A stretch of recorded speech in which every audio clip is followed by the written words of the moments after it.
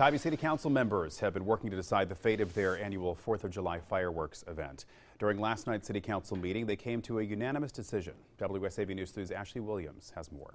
The night skies over Tybee Beach will be much darker this 4th of July. Much to the disappointment of many who enjoy the fireworks out here each year, the City Council has decided to cancel this year's event. It was a unanimous vote. Tybee Mayor Shirley Sessions says the choice to forego the fireworks was a tough one. They made the call during Thursday night's City Council meeting. It was partly due to the influx of visitors they'd face if other cities canceled and Tybee did not. If other communities decided to dismiss their fireworks to cancel, um, then we knew that, that it would be people would be descending on Tybee. She says it wasn't fair to anyone to postpone when they didn't know when they could set a new date. Another factor was the tough time police would have with enforcing social distancing. Your considerations are again going to be your social distancing, which we're already having problems with. Tybee resident and restaurant owner Gerald Chance says he agrees with the council's choice. With all of the other surrounding towns and probably Savannah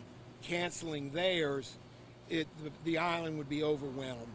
And it, so it's a safety issue. While there are no plans for alternate events, the city manager says there's still lots to do on Tybee this summer. Some people are going to be disappointed. Most people come here just to spend the day on the beach, and I think they're going to be okay. Ashley Williams, WSAV News 3 on your side.